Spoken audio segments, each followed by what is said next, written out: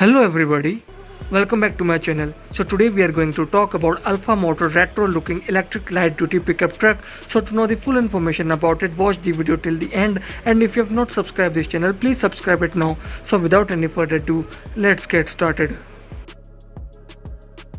Alpha Motor Corporation and EV startup like Rivian or Fisker finally showed off a working prototype of its Wolf model and electric light duty pickup truck. Alpha says its Wolf EV will be a pickup truck that is capable in city street as it would be off-roading.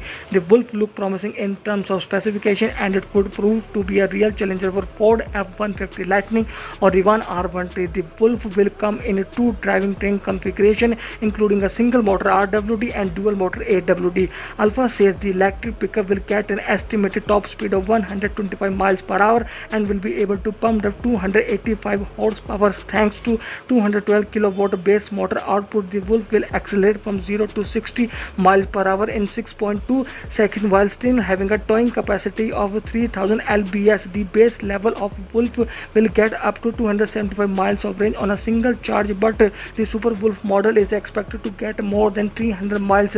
Alpha did not reveal exact charging time only that it would take less than hour to fully charge the truck on a DC fast charger. While the interior of base Wolf model can fit two passengers the Wolf Plus and the Super Wolf have additional seating capacity.